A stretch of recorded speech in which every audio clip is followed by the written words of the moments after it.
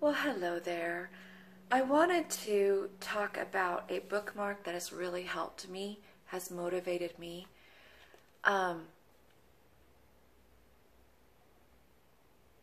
I, I've been in limbo for the past couple months as far as not knowing where I stand with my career, my job, or my future because of the injuries I um, that happened to me um, on the job that didn't nothing broke, but there's a lot of contusion and soft and swelling and soft tissue damage and just chronic pain and not able to lift heavy things like I could before and push heavy things and feeling pain and during the cold and all that. And yes, I believe God's going to heal me. I do.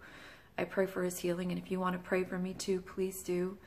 Um, but also, uh, and I was diagnosed recently with fibromyalgia uh, and also um, an MRI, based on the MRI, a bulging disc and bone degenerative disease was found. So it has been a very tough, physically tough, challenging year, excuse me.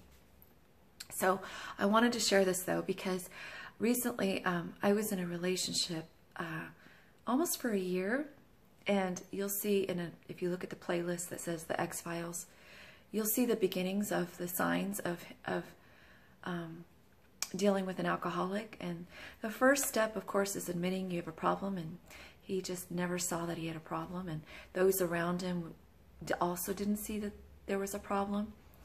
Um, and so I've never dealt with dating an alcoholic and I just never saw the signs. And when I was, when I met him, I was going through my own issues of being on medicine for the pain uh, from the injuries, and he was taking care of me and nursed me back to health. And I literally was able to get out of bed and walk and all of that because of him. He helped me, you know, nursing back to health. So I kind of felt like I owed, not owed him, but just was so grateful to him. And um, I still love him and I always will, but you cannot have a relationship with an alcoholic because they can't see past that alcohol. And there's just so many symptoms and signs from the the the up and down moods, the mood swings, uh, the rageaholic that can happen out of the blue. Um, so I've been going to something called Al-Anon, and uh, before Harvey, I was going consistently. I started going consistently. I just started going, and I was given helpful tools and helpful things to use. But, and one of them was this bookmark that I'm going to share with you. But after Harvey, I just, it wasn't around where I was going because it had been flooded out. So, um, but I still keep this bookmark that has really helped me and use other supplements that was given.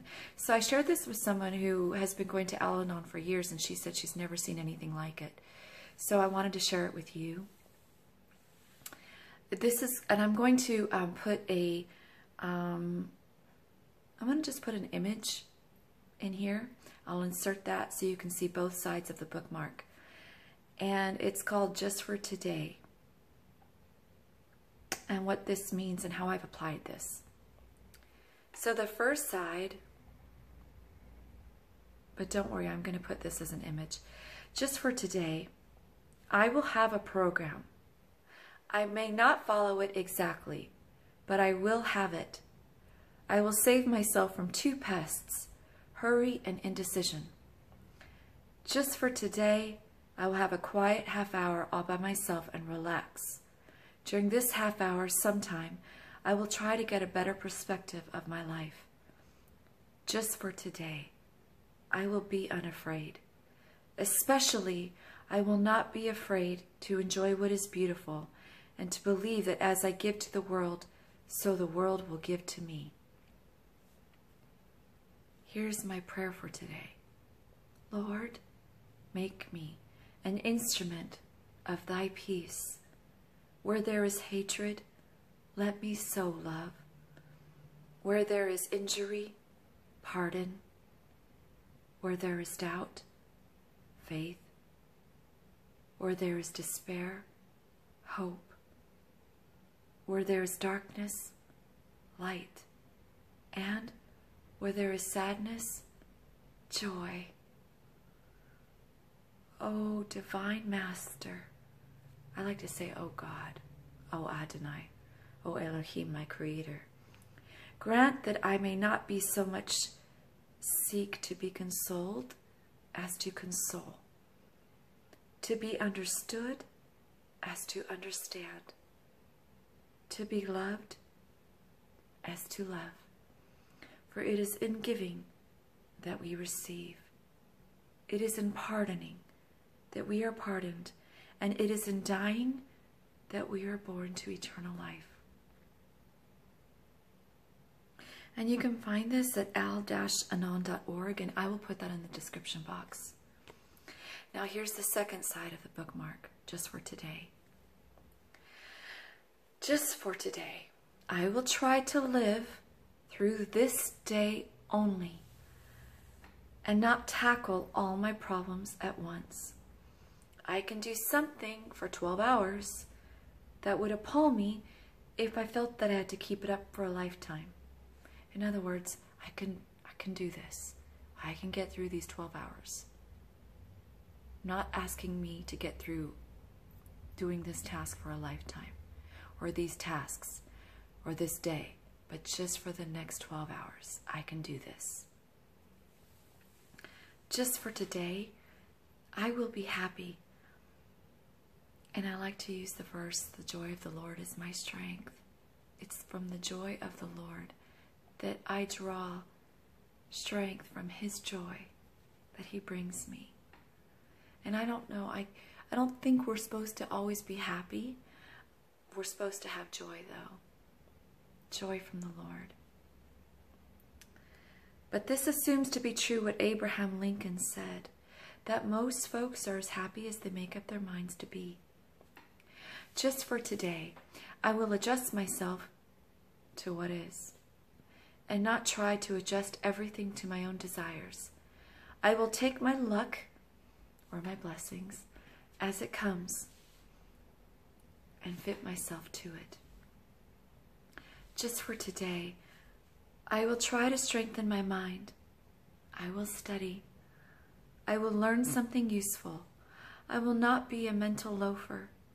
I will read something that requires effort, thought, and concentration just for today, I will exercise my soul in three ways. One, I will do somebody a good turn and not get found out. Two, if anybody knows of it, it will not count. Three, I will do at least two things I don't want to do, just for exercise.